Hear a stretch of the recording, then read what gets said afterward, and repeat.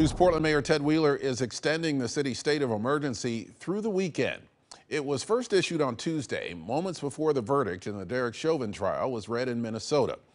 Police arrested two people Tuesday night downtown after a large group of people marched through the streets and smashed windows of businesses.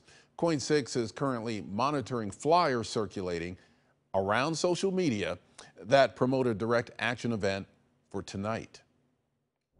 New at